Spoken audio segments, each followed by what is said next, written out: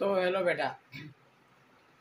तो बेटा, आज हम जो है करने जा रहे हैं, क्या करने जा रहे हैं? आज हम एम्पेरिकल फार्मूला के जो है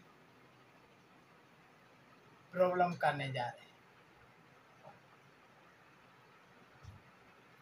क्या करने जा रहे हैं? आज हम करने जा रहे हैं एम्पेरिकल फार्मूला के प्रॉब्लम तो सबसे पहले जो है हम प्रॉब्लम लिखते हैं। तो सबसे पहले जो है प्रॉब्लम लिखते हैं तो सबसे पहले क्वेश्चन कहता क्या है? कि, कहता है कि forty four point two four gram four point two four gram of four point two four gram of an organic compound of an organic compound क्या कह रहा है कि 4.24 gram of an organic compound containing organic compound containing carbon hydrogen and oxygen तो तीन ही compound on a complete combustion on a complete combustion.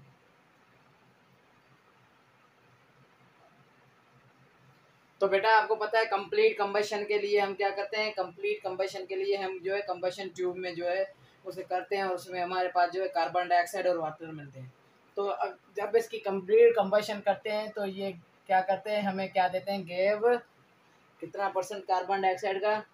Six point two one gram carbon dioxide gave six point two one gram of carbon dioxide तो बेटा ये क्या देते हैं हमें? Combustion में ये हमें देते हैं क्या? कार्बन डाइऑक्साइड के कितने? Six point two one gram and two point five four gram water and two point five four gram water अब आपको पता है कि वाटर को जो है एब्जॉर्ब करने के लिए हम उस ट्यूब में क्या लगाते हैं, वो कल भी बताया मैंने मैग्नीशियम पर किलोरेट तो मैग्नीशियम पर किलोरेट लगाते हैं क्या, किस लिए? वाटर को एब्जॉर्ब करने के लिए। तो ये है मैग्नीशियम ये आप याद कर रहे हैं, आपको जो है ये फार्मूला पूछा जा सकता है। पर किलोरेट फॉर वाटर और K O H fifty percent fifty percent for carbon dioxide तो के ओ एच किसको एब्जॉर्व करता है? के ओ एच जो है एब्जॉर्व करता है कार्बन डाइऑक्साइड को. Find empirical and molecular formula क्या फाइंड करना है? Find empirical formula and molecular formula अब मालिकुलर फार्मूला भी मैं आपको पढ़ाऊँगा तो ये भी इसमें आ जाएगा। और मालिकुलर मास ऑफ़ कंपाउंड क्या बेटा, ये चीज़ आपको जहन में रखनी है, आगे काम आएगी। कि मोलिकुलर मास ऑफ़ कंपाउंड तो molecular mass of compound is sixty तो ये चीज़ आपको याद रखनी है कि मोलिकुलर मास ऑफ़ कंपाउंड भी हमसे पूछा जा सकता है तो आगे काम आएगा। तो चलें, अब देर नहीं करते ऐसे सॉल्व करते हैं। तो सॉल्व करते हैं सबसे पहला स्टेप सबसे पहला स्टेप जो है, कल मैंने आपको पढ़ाया, वो है डिटर्मिनेशन ऑफ़ एलिमेंट्स अब एलिमेंट की डिटर्मिनेशन हमारे पास हो गई कि कार्बन है हाइड्रोजन है और ऑक्सीजन अब स्टेप नंबर जो सेकंड है, वो फ़र्स्ट आएगा। वो कौन सा है कि find out the masses of element step number one क्या है बेटा? Find out masses of element अब क्या करते हैं हम? फाइंड आउट करते हैं। क्या फाइंड आउट करते हैं? मासेज ऑफ़ एलिमेंट अब मासेज ऑफ़ एलिमेंट फाउंड करने के लिए हमारे पास जो है एक फार्मूला होता है जो आपको याद करना है। अब मास ऑफ़ कार्बन के जो मास ऑफ़ कार्बन को डिटरमाइन के लिए हमारे पास एक फार्मूला है। मास ऑफ़ कार्बन के डिटर्मिनेशन के लिए हमारे पास एक फार्मूला है। तो ये चीज़ें आपको याद रखनी है। वो कौन सा है कि one mole of carbon one mole of carbon divide by क्या बेटा? Divide by one mole of carbon dioxide and multiply mass of carbon dioxide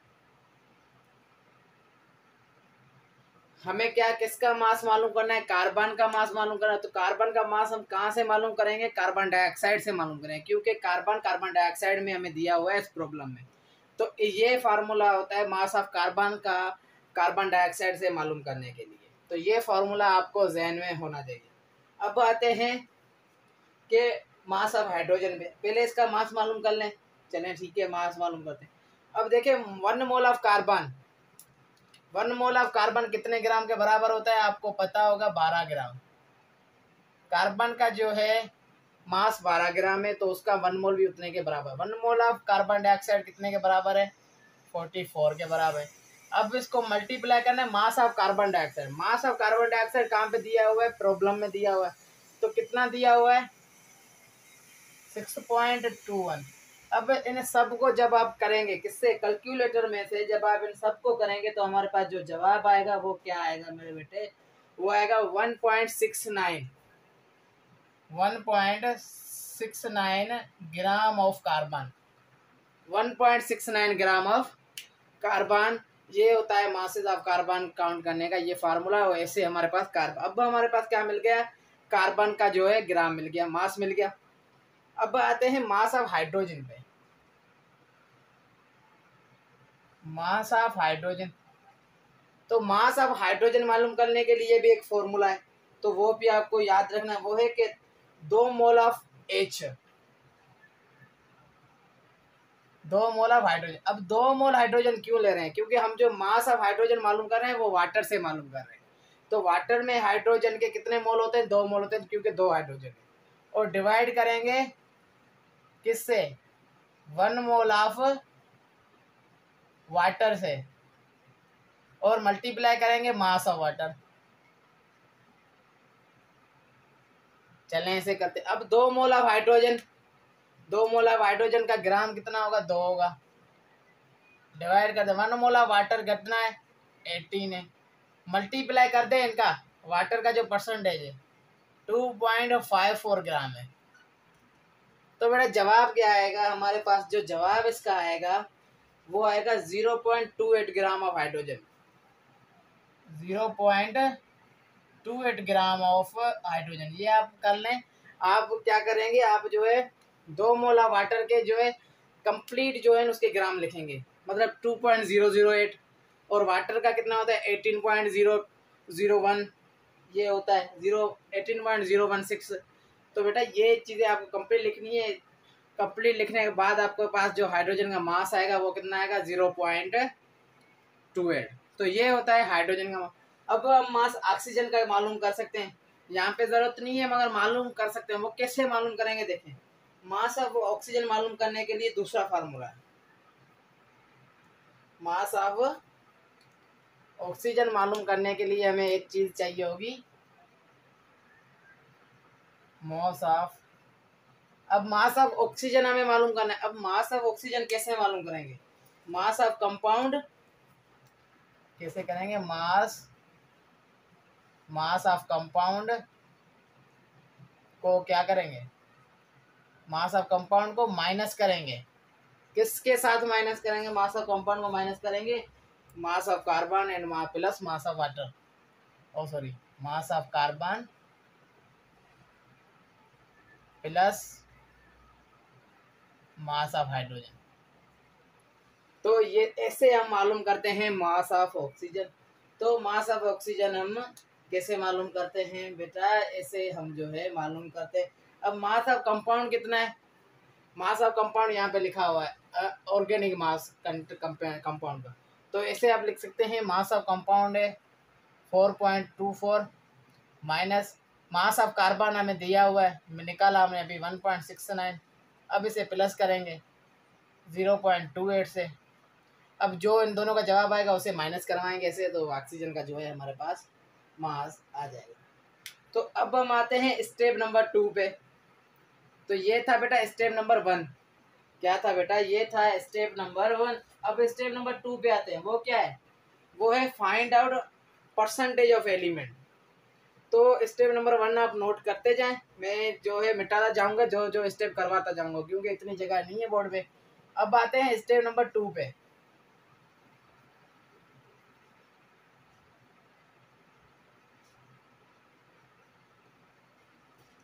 इस पे आते हैं बेटा? Step number step number two क्या है? Find out percentage of element find out percentage of element आप डायरेक्ट भी कर सकते हैं, जिसमें आपको मास निकालने की ज़रूरत नहीं पड़ेगी, सिर्फ़ परसेंटेज से आगे जो है आप जा सकते हैं, बिल्कुल डायरेक्ट स्टेप है, वो भी आगे बताता हूँ, मगर अब पहले आप स्टेप वाइज स्टेप वाइज देख लें। तो परसेंटेज ऑफ़ एलिमेंट का भी एक फार्मूला है, जो भी मैंने आपको बताया था। अब वो वो फार्मूला क्या है? क्या बेटा? परसेंटेज ऑफ़ एलिमेंट अब बेटा परसेंटेज ऑफ़ एलिमेंट का एक फार्मूला है, वो है कि mass of element divide by mass of compound क्या है बेटा? Mass of element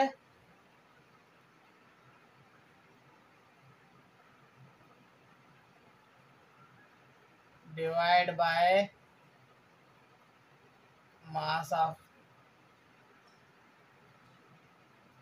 compound multiply by hundred तो ये होता है बेटा परसेंटेज ऑफ़ एलिमेंट का फार्मूला अब हम परसेंटेज कैसे निकालेंगे? पहले सबसे पहले मास ऑफ़ एलिमेंट लेते हैं अब आ जाए परसेंटेज ऑफ़ कार्बन पे।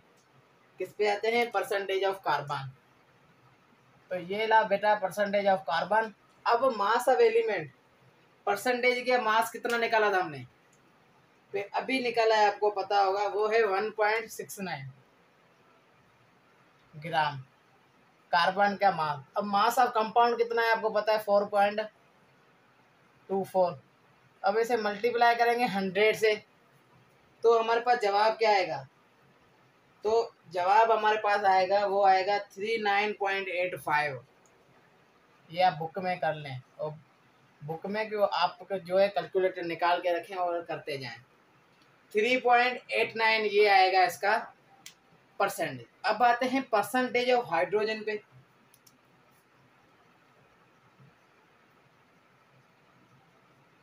तो हाइड्रोजन का हमने मास कितना निकाला था? मास ऑफ़ एलिमेंट हाइड्रोजन का ज़ीरो पॉइंट टू एट मेरे हिसाब से। और four point two four multiply by hundred तो ज़ीरो पॉइंट टू एट ही था। हाँ zero point two eight four point two four को मल्टीप्लाई हंड्रेड करें तो जवाब हमारे पास आएगा, क्या बेटा? सिक्स पॉइंट सिक्स तो ये हमारे पास था क्या? ये हमारे पास था हाइड्रोजन का परसेंटेज क्या था बेटा? हाइड्रोजन का अब आते हैं परसेंटेज ऑक्सीजन पे। तो ऑक्सीजन का परसेंटेज हम कैसे निकालेंगे वो भी देख लें आप। ये लिया मैंने ऑक्सीजन अब ऑक्सीजन का परसेंटेज निकालने के लिए ऑक्सीजन का वो जो हमें मास निकालना पड़ेगा। तो मास ऑक्सीजन हम कैसे निकालेंगे? मास हम कैसे निकालेंगे, वो हम ऐसे निकालेंगे कि आपको पता है कि total total mass of compound कितना होता है, हमारे पास परसेंटेज कितना होता है? हंड्रेड होता है। आप इन सब का परसेंटेज जब मिलाएँगे कार्बन हाइड्रोजन वाटर का हंड्रेड होता है। तो हम इसका कैसे निकालेंगे? हम निकालेंगे इसका hundred minus percentage of carbon plus percentage of hydrogen को करके। तो निकालें। अब hundred minus hundred minus percentage of carbon कितना है बेटा? यहाँ पे करते हैं। परसेंटेज ऑफ़ कार्बन है thirty nine point eight five plus six point six तो ये कितना होता है? ये बेटा कितना होगा? ये हमारे पास तकरीबन हो जाएगा forty forty five forty five मेरे हिसाब से फोर्टी सेवन होगा। या फोर्टी सेवन या फोर्टी सिक्स पॉइंट कुछ पॉइंटों में आएगा। अब उसे हंड्रेड से माइनस करेंगे तो हमारे पास जवाब क्या आएगा? हमारे पास जवाब आएगा fifty five point five five fifty point fifty three point five five क्योंकि वहाँ फोर्टी सेवन था। Fifty three point five five percentage हमारे पास निकलेगा किसका? बेटा ऑक्सीजन का। तो ऐसे निकलता है परसेंटेज ऑफ़ ऑक्सीजन अब हम डायरेक्ट भी परसेंटेज निकाल सकते हैं, जो मेथड मैंने आपको पहले बता रहा था। अब ये नोट कर लें तो डायरेक्ट मेथड पे आते हैं। आपको मासेस की भी ज़रूरत नहीं पड़ेगी। डायरेक्ट आप तीसरे स्टेप पे आ सकते हैं। तो डायरेक्ट स्टेप इसका कैसे सोल्व करेंगे?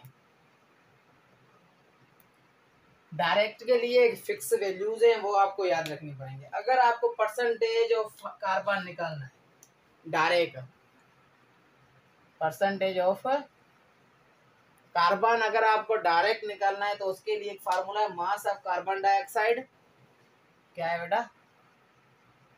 Mass of carbon dioxide divide by mass of compound divide by mass of compound multiply by twelve upon forty four multiply by hundred तो ये बेटा होता है डायरेक्ट कार्बन के परसेंटेज निकालने का फार्मूला ऐसे आप डायरेक्ट निकाल सकते हैं। तो आप आ जाए डायरेक्ट निकालते हैं। मास ऑफ़ कार्बन डाइऑक्साइड कितना है? बुक में दिया हुआ है। आप देख सकते हैं बिल्कुल। तो वो दिया हुआ है, वो कितना दिया हुआ है बेटे? वो दिया हुआ है सिक्स पॉइंट टू वन और मास ऑफ़ कंपाउंड हमारे पास कितना है? Four point four two. जब इसे मल्टीप्लाई करेंगे ट्वेल्व अपॉइंट फोर्टी फोर से और हंड्रेड से। तो जवाब हमारे पास क्या आएगा? तो जवाब हमारे पास वही आएगा जो पहले हमारे पास आया था स्टेप बाय स्टेप वो था thirty nine point eight five तो वही आएगा। तो ऐसे आप जो है डायरेक्ट परसेंटेज निकाल सकते हैं कार्बन का। अब डायरेक्ट परसेंटेज आपको जो है हाइड्रोजन का निकालना है। हाइड्रोजन का निकालना है तो उसके लिए हमारे पास दूसरा फार्मूला, वो है मास ऑफ़ वाटर।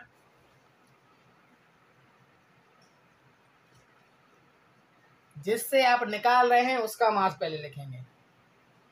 मैं वाटर से हाइड्रोजन का निकाल रहा हूँ, क्योंकि प्रॉब्लम में वाटर दिया हुआ मास ऑफ़ कंपाउंड।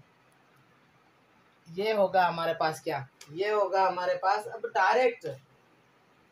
तो आप जो है फ्रैक्शन में भी लिख सकते हैं, अगर फ्रैक्शन में नहीं लिख रहा तो डायरेक्ट ऐसे भी लिख सकते हैं, two upon eighteen multiply by hundred अब करते हैं मास ऑफ़ वाटर हमारे पास कितना है? टू पॉइंट फाइव फोर है।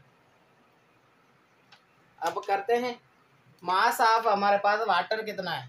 वो है बेटा two point five four divide by four point four two two four multiply by अब कितना आएगा इधर? Two upon eighteen multiply by hundred. तो जवाब इसका वही आएगा जो पहले आया था। कितना आया था पहले? Six point six percent. तो ये होता है बेटा डायरेक्ट मेथड सिर्फ़ ये चीज़ें आपको याद रखनी है, ये फिक्स्ड वैल्यू है कांस्टेंट वैल्यू तो यही वैल्यू आपको याद रखनी है, इस डायरेक्ट मेथड से आप कर सकते हैं। ऑक्सीजन का भी ऐसे ही निकाल सकते हैं। ऑक्सीजन का सेम था जो पहले वाला था, जिसमें हमारे, हमने जो टोटल परसेंटेज लिया था, उसको माइनस किया था। तो ये हम, हमारे पास कौन सा हो गया? ये हमारे पास दूसरा स्टेप डन हो गया। अब स्टेप नंबर थर्ड पे आते हैं। स्टेप नंबर थर्ड बेटा कौन सा है हमारे पास? Find out mole ratio of element लिखता हूँ यहीं पे। Step number third find out mole ratio of element अब कैसे? Find out mole ratio of element हम कैसे निकालेंगे? मोल के लिए एम कैपिटल होता है हमेशा। छोटा एम मासेस के लिए होता है। तो find out mole ratio of element अब मोल रेशियो ऑफ़ एलिमेंट के लिए हमारे पास फार्मूला है, वो बिल्कुल इजी फार्मूला है, वो है कि मोल रेशियो का फार्मूला हमारे पास कौन सा है बेटा? Percentage of element divide by atomic mass mole ratio percentage of element divided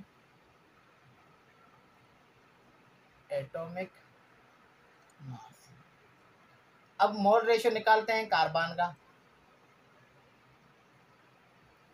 तो किसका निकाल रहे हैं मोल रेशियो मोल रेशियो अब निकाल रहे हैं हम कार्बन का। तो परसेंटेज ऑफ़ एलिमेंट अभी हमने निकाला ये, कि परसेंटेज ऑफ़ एलिमेंट कितना है? कार्बन का कितना है? Thirty nine point eight five atomic mass carbon का कितना है? कितना है बेटा कार्बन का एटॉमिक मास जल्दी बता। एटॉमिक मास कार्बन का कितना है बेटा?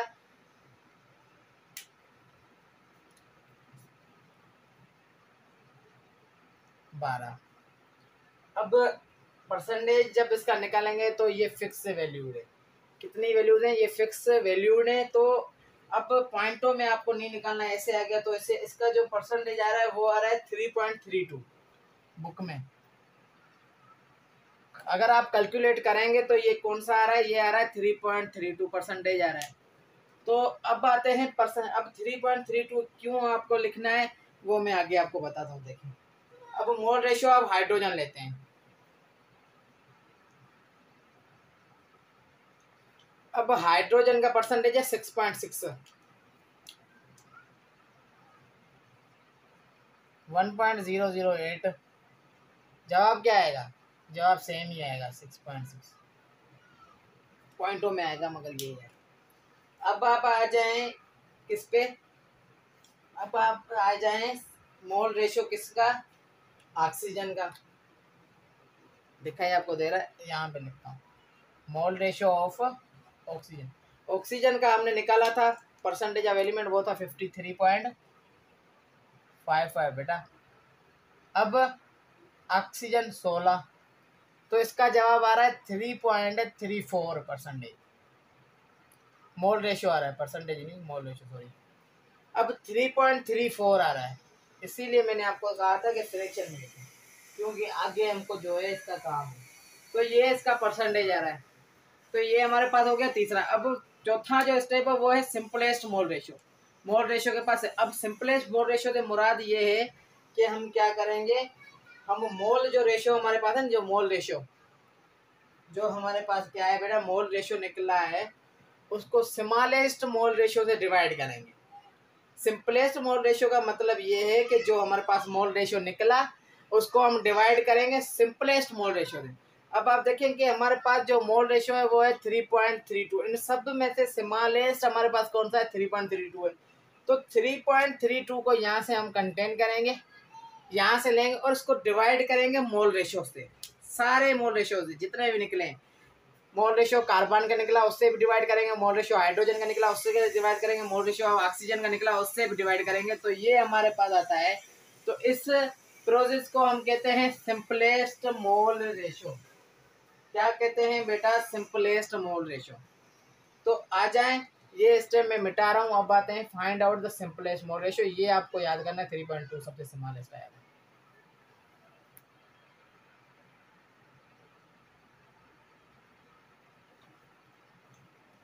find out simplest mole ratio step number याद है आपको कौन सा है? मेरे हिसाब से फोर है। Find out simplest mole ratio अब सिंपलेस्ट मोल रेशियो से मुराद क्या है? आपको बता दिया मैंने। अब सिंपलेस्ट मोल रेशियो का फार्मूला सिंपलेस्ट मोल रेशो का फार्मूला क्या होता है? Mole ratio divided by smallest mole ratio. जो हमारे पास स्मॉलेस्ट मोल रेशो निकला है, उसको हम मोल रेशो से डिवाइड करेंगे। स्मॉलेस्ट मोल रेशियो हमारे पास था थ्री पॉइंट थ्री टू इसीलिए मैंने पॉइंट्स में आपको मैं ले रहा था, क्योंकि अब थ्री पॉइंट फोर में थ्री पॉइंट थ्री फोर में थ्री पॉइंट थ्री टू में टू पॉइंट्स का फ़र्क है। तो इसीलिए मैं आपको कह रहा था कि आप पॉइंट्स में लें, क्योंकि हमें बिल्कुल स्मॉलेस्ट चाहिए तो वो पॉइंट्स में ही आएगा। अब इसको करते हैं कार्बन का सबसे पहले निकालते हैं simplest mole ratio simplest ratio carbon mole ratio carbon का कितना निकला था? हमारे पास वो निकला था थ्री पॉइंट थ्री टू अब सिंपलेस्ट है स्मॉलेस्ट मोल रेशियो ये इससे डिवाइड करेंगे।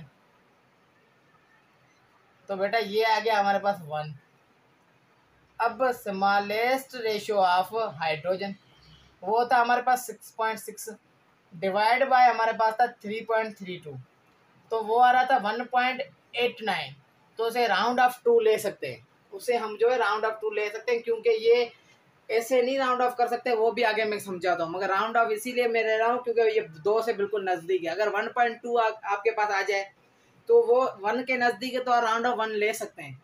टू को ड्रॉप कर सकते हैं। मगर यहाँ, अगर कोई वैल्यू बहुत कम है फिफ्टी मतलब फिफ्टी पॉइंट्स का अगर उसमें फ़र्क है तो उसमें आप राउंड ऑफ़ नहीं कर सकते। उसके लिए एक दूसरा मेथड है, वो भी मैं आपको बताऊँगा। अब सिंपलेस्ट रेशियो निकालते हैं हाइड्रोजन ऑक्सीजन का। थ्री पॉइंट थ्री फोर आया था। Three point three four, three point three two. अब राउंड ऑफ़ करेंगे तो इसका भी वन आ जाएगा। क्या आ जाएगा बेटा? इसका भी वन आ जाएगा। अब आप सपोज़ करें, क्या करें बेटा? अब आप सपोज़ करें कि हमारे पास कार्बन है। यहाँ पे जो है लिख रहा हूँ। सपोज़ करें हमारे पास कार्बन है, उसका जो है रेशो वन है। और हमारे पास दूसरा है हाइड्रोजन जिसका रेशो है टू पॉइंट फाइव अब आप टू पॉइंट फाइव को टू पॉइंट फाइव में नहीं रखेंगे। इसे हमें होल नंबर में लाना पड़ेगा। तो वो कैसे लाएँगे? इसे हम जो है वैल्यूज़ से मल्टीप्लाई करेंगे। तो वन को भी मल्टीप्लाई करेंगे टू से, इसको भी टू से मल्टीप्लाई करेंगे, क्योंकि इसको जो है वो होल नंबर में आना है।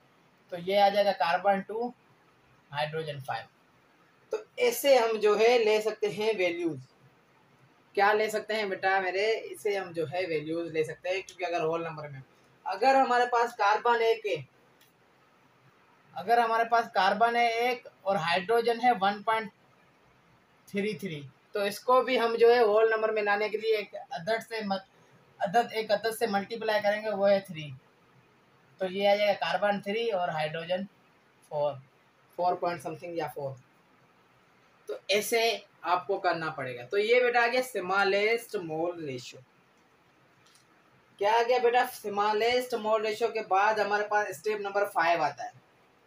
स्टेप नंबर फाइव क्या कहता है कि find out the empirical formula यहाँ पे करते हैं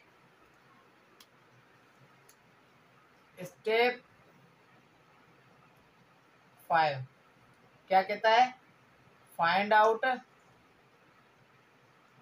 एम्पेरिकल फार्मूला अब एम्पेरिकल फार्मूला कैसे फाइंड आउट करते हैं?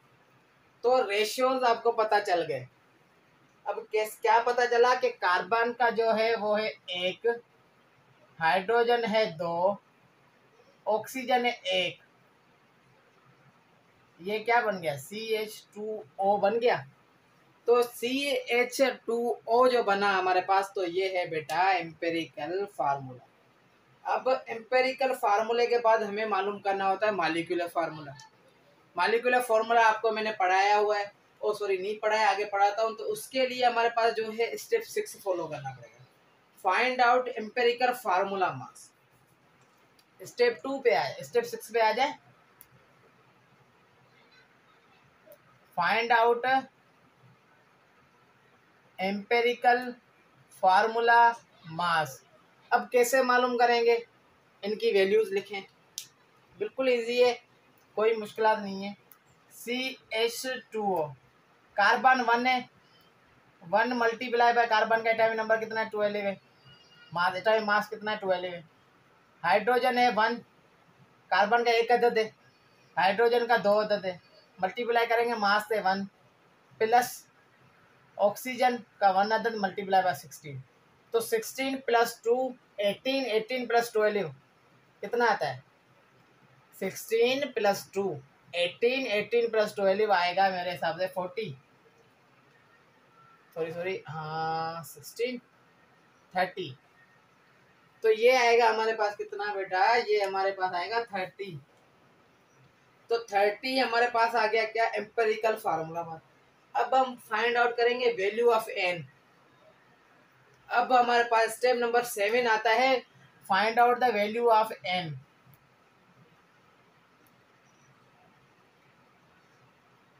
find out value of N अब एन की वैल्यू के लिए भी हमारे पास एक फॉर्मूला होता है। ये देखें कितना लंबा प्रोसेस है। अब एन की वैल्यू के लिए भी हमारे पास जो है, वो एक जो है फार्मूला वो है molecular mass divide by empirical formula mass N molecular mass divided by empirical formula mass अब मालिकुलर मास किसका? कंपाउंड का। तो कंपाउंड का मालिकुलर मास कहाँ कितना है? तो ये लिखा हुआ है प्रॉब्लम में। हमेशा दिया हुआ होगा हमेशा दिया हुआ होगा। Molecular mass of compound is sixty तो आ जाए करते हैं। सिक्सटी एम्पेरिकल फार्मूला मास अभी निकाला थर्टी तो एन की वैल्यू क्या आ गई बेटा? एन की वैल्यू आ गई दो. एन की वैल्यू मेरे बेटे क्या आ गई दो? अब हमें फाइंड आउट करना है क्या? फाइंड आउट करना है मालिकुलर फार्मूला क्या फाइंड आउट करना है? अभी हमें फाइंड आउट करना है मालिकुलर फार्मूला अब मालिकुलर फार्मूला कैसे फाइंड आउट करेंगे? फाइंड आउट करेंगे मालिकुलर फार्मूला को। Step number eight total nine step होते हैं पहले वाला हमने नहीं किया, इसीलिए। फाइंड आउट मोलिकुलर फार्मूला अब मोलिकुलर फार्मूला कैसे फाइंड आउट करेंगे? कैसे फाइंड आउट करेंगे मोलिकुलर फार्मूला एम्पेरिकल फार्मूला को मल्टीप्लाई करेंगे एन से। मॉलिकुलर फार्मूला को मालूम करने के लिए एम्पेरिकल फार्मूले को मल्टीप्लाई करेंगे हम एन से। तो कैसे पता चलेगा हमें तो देखें। तो हमारे पास एम्पेरिकल फार्मूला है C H two O multiply करेंगे एन की वैल्यू दो तो जवाब आएगा C two H four O C two H four O two two इधर भी आएगा ना बेटा? तो C two H four O two तो ये क्या होता है हमारे पास? C two H four O two क्या होता है? C H three C double O H किसका फार्मूला है? कल करवाया ये आपको एसिडिक एसिड तो ये बेटा होता है हमारे पास एसिडिक एसिड तो ये होते हैं टोटल नाइन स्टेप और ऐसे होता है एम्पेरिकल फार्मूला का प्रॉब्लम अब कोई मसला नहीं है, ये स्टेप अगर आप फ़र्स्ट ईयर में हैं तो आप इनकी प्रैक्टिस करें स्टेप याद हो जाएँगे. क्योंकि ये आपके पेपरों में काम आएँगे। अगर एंट्री के हैं तो उसके हवाले से मैं आगे आ रहा हूँ, वहाँ पे आपको बताऊँगा ये एक सेकंड में कैसे होता है। तो वो आगे आते हैं। ये स्टेप आप नोट कर लें।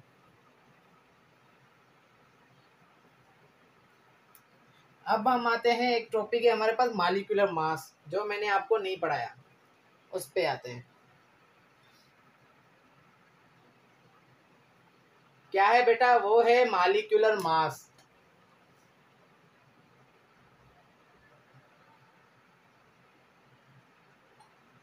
अब हम मॉलिकुलर मास पे आते हैं। किस पे आते हैं मॉलिकुलर मॉलिकुलर मास क्या होता है?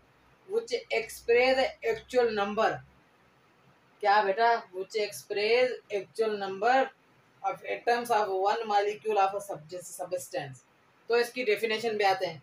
क्या है definite the formula which shows क्या है डेफिनेशन इसकी बेटा?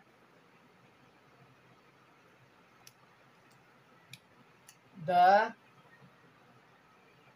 formula the formula which shows actual the formula which shows actual है बेटा actual number of atoms actual number of atoms of one molecule substance. तो वन मॉलिक्यूल सबिस्टेंस का मतलब one molecule of substance तो one molecule of substance से मुराद ये है कि सबिस्टेंस का मतलब इसमें हमारे पास कंपाउंड भी आ जाता है और बेटा हमारे पास इसमें कंपाउंड के साथ एलिमेंट भी आ जाता है। तो ये होता है हमारे पास मॉलिक्यूलर फार्मूला अब मॉलिक्यूलर फार्मूला का जो है फार्मूला क्या है? मॉलिकुलर मास का हमारे पास फॉर्मूला क्या है? तो ये होता है बेटा हमारे पास मोलिकुलर फार्मूला। या molecular mass.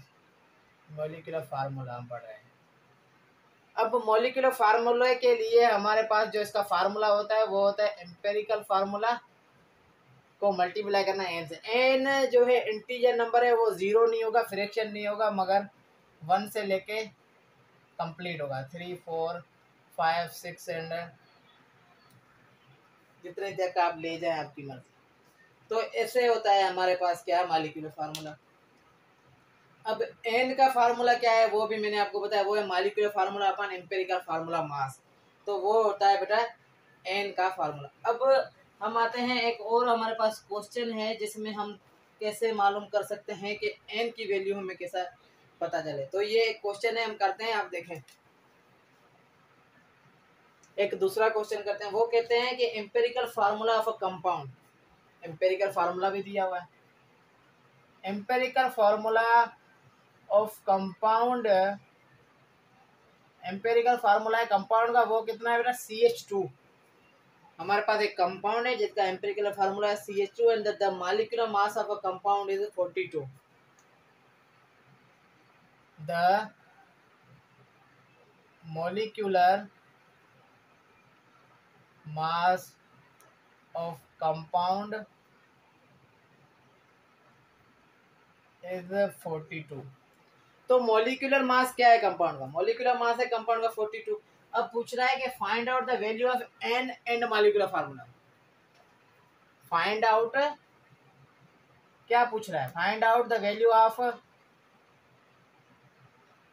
n and molecular formula अब अगर एन मालूम चल, पता लग गया तो मालिकुलर फार्मूला भी पता लग जाएगा। तो एन कैसे मालूम करते हैं? तो मालिकुलर एम्पेरिकल फार्मूला क्या है? Empirical formula C H two क्या है बेटा? एम्पेरिकल फार्मूला है C H to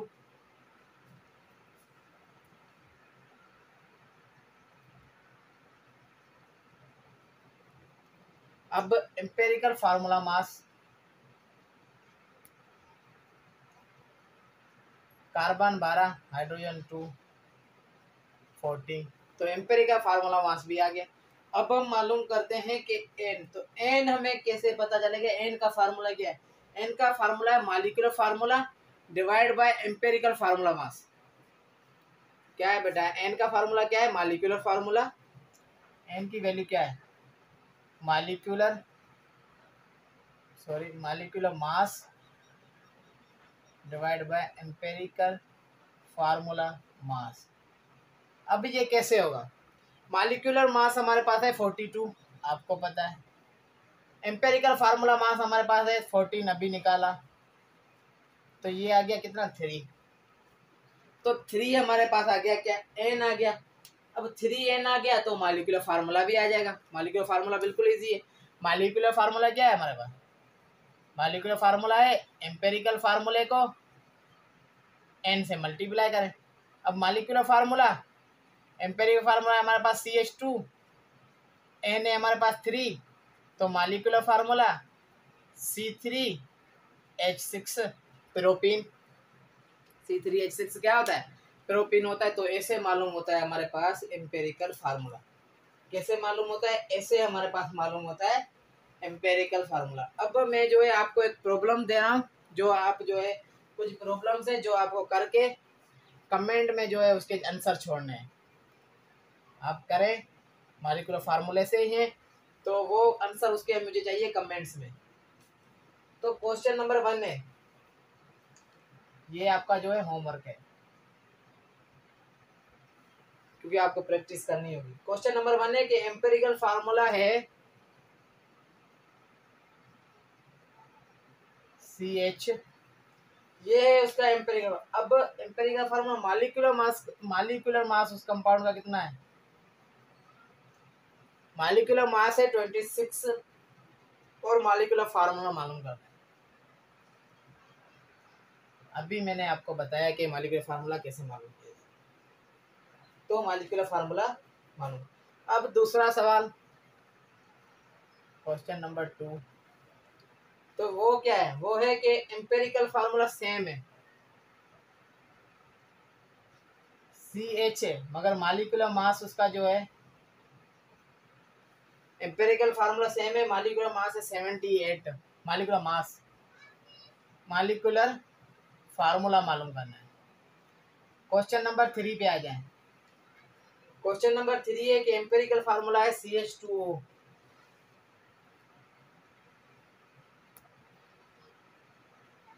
C H two O empirical formula molecular mass है वन एटी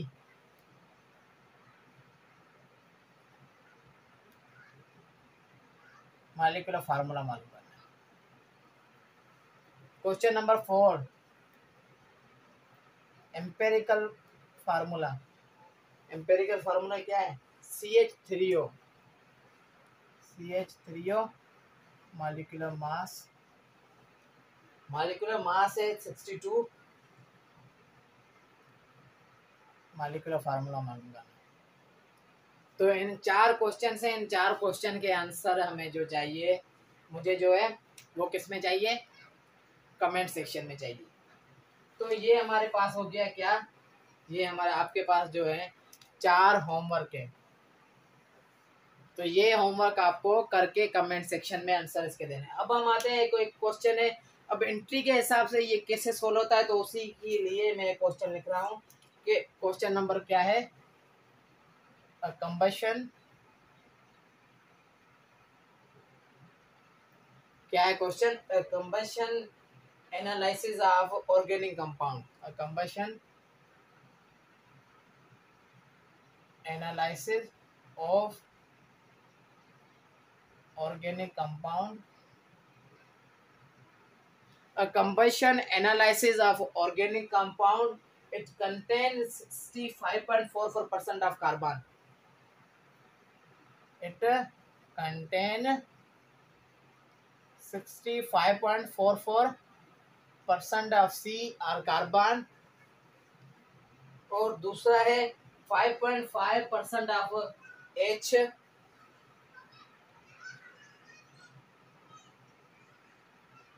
एच और ऑक्सीजन का परसेंटेज कितना है? Twenty nine point zero six ये है ऑक्सीजन का percent the molecular mass of the compound molecular mass of compound is one one zero one five एक सौ दस point one five calculate molecular formula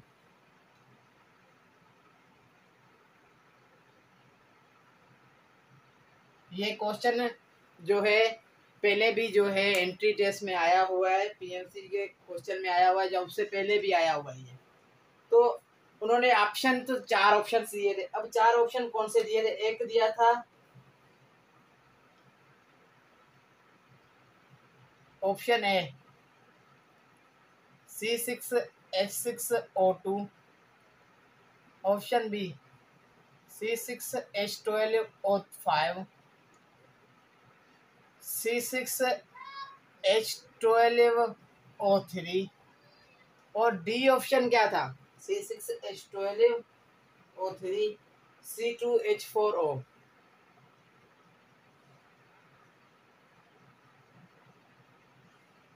यहाँ पे था सी five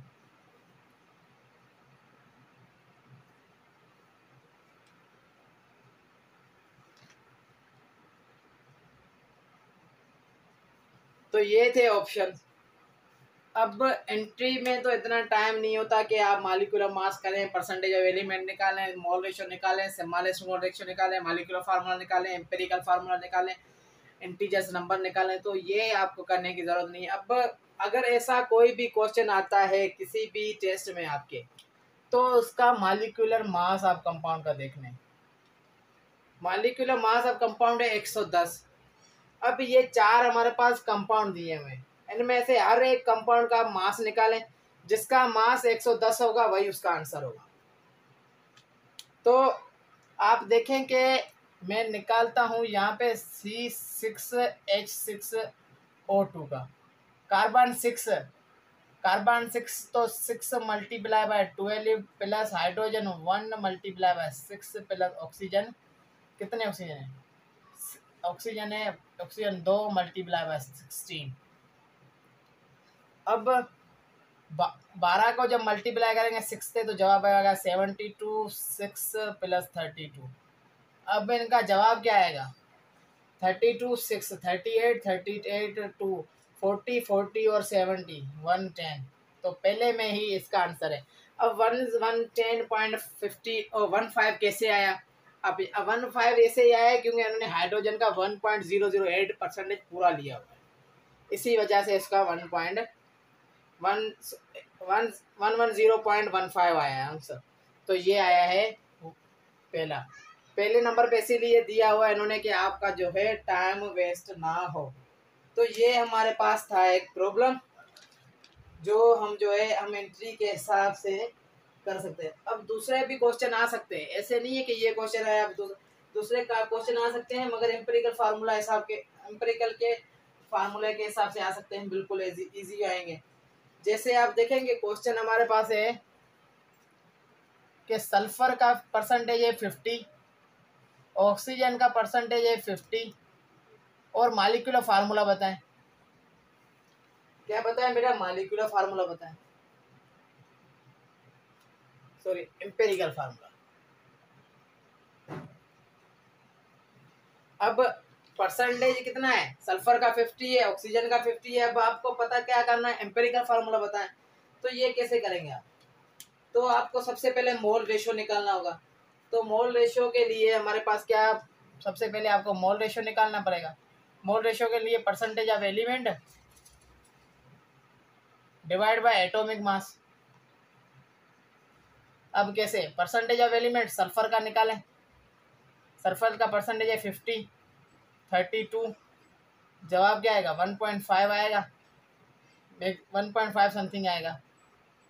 Oxygen fifty multiply by sixteen जवाब क्या आएगा? थ्री पॉइंट टू समथिंग आएगा मेरे हिसाब से।